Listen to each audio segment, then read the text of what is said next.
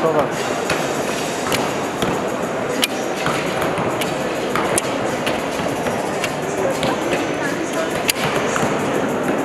Şampiyonun ikinci günündeyiz. Şu an gayet iyi gidiyor. Ee, kemankeş arkadaşlar da sporcular da iyiler. Ee, erkekleri öğleden önce bitirdik. Ee, sıralama atışları bitti. Bu arada çıta yükselmiş. Yani 90'ların üstünde e, puanlar var. S- Samsun'da önceki yıllara göre puan sıralaması biraz daha yukarı çıktı. Bu da bizim için çok sevindirici bir gelişme. Ee, erkeklerde ilk 32 seçildi bugün. Yarın onlar eleme atışlarına girecekler inşallah. Şimdi bayanlar var. Onların e, sıralama atışları oluyor. Onlarda da yine ilk 32'ye e, girecek arkadaşlar inşallah. Yarın e, yarışacaklar. Yaklaşmayın sadece.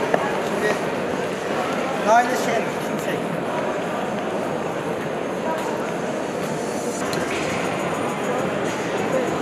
Hey.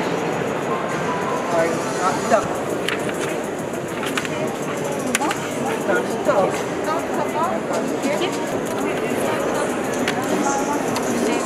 Lütfenler adına topladığımız sporcular kura çekimi için lütfen hakem masasına gelsin. Murat Basancıoğlu